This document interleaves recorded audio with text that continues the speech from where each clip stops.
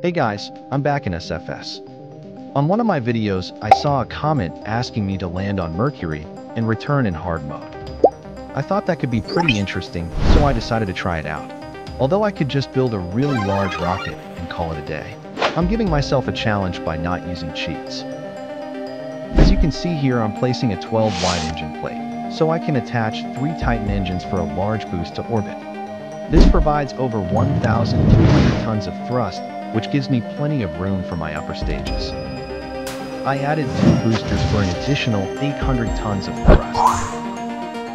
I'm also adding fuel tanks between the main stage and the boosters for a bigger payload. And after finishing up the rocket, we can see it here on the launch pad. And liftoff of the Prometheus. I named it the Prometheus because he was the Greek god who gave humanity fire. And if you don't know the scale of SFS hard mode, it's 1 units to 10 units. This means it is two times larger than normal SFS. Instead of 30 kilometers of atmosphere, it's 50, which is insane.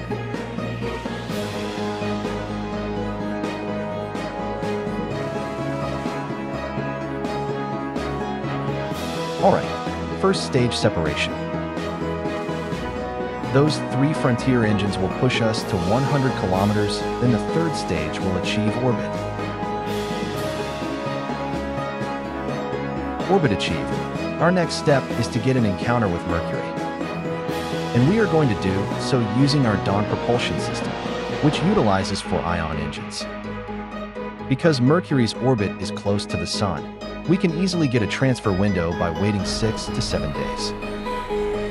Now for the worst part, the geological time scale ion engine burns.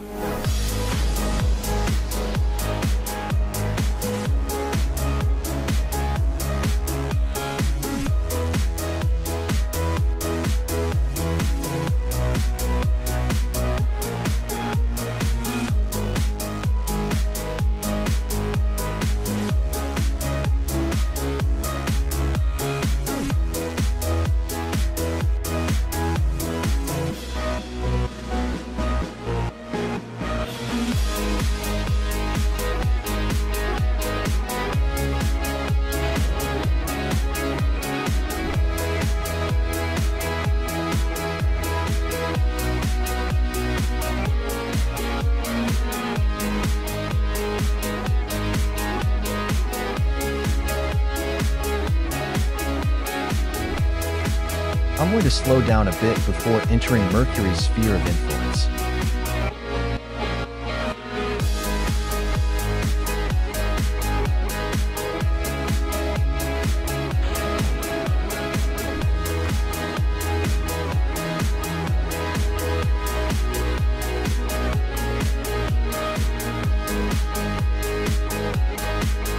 Transferring fuel.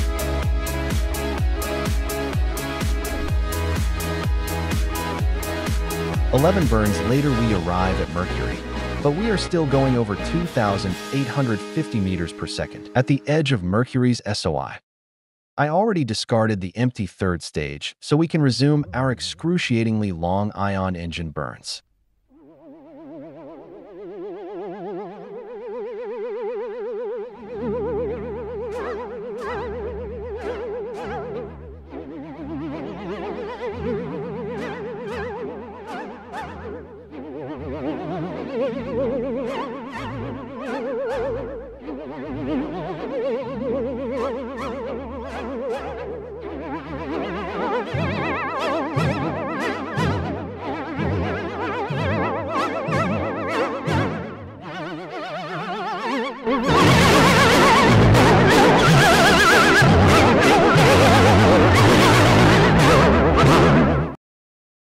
After a couple lifetimes, we have finally reached low Mercury orbit.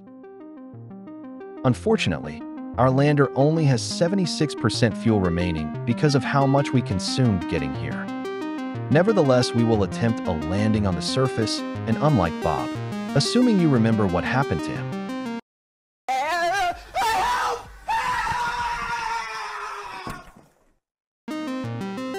who got thrown off Mars by a nuke and who I'm sure isn't planning revenge. Unlike him, we will safely return to orbit. As you can see, I've started the deorbit burn.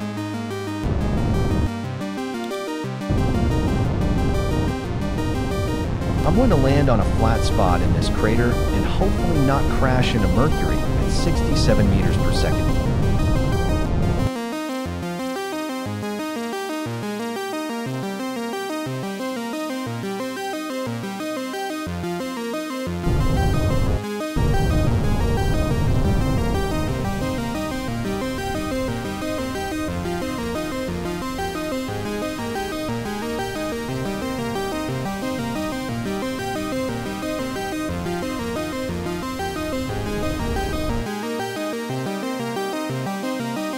Success!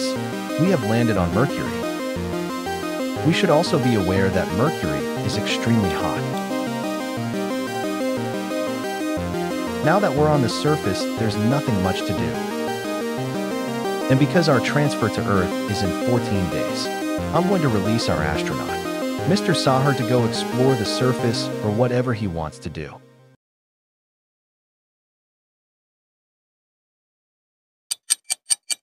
14 days later, Mr. Sahar is returning to the lander.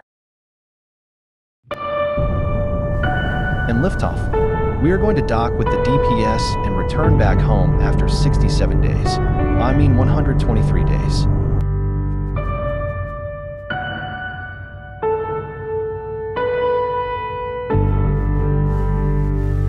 And we have docked back to the DPG. And our ion engine burns continue. This time I'm going to quickly skip over them. All the fuel in the lander is spent, so I am going to remove it. Now our delta V is much higher at 7,000 meters per second. My plan is to slow down when we get to Earth so the heat shield doesn't overheat.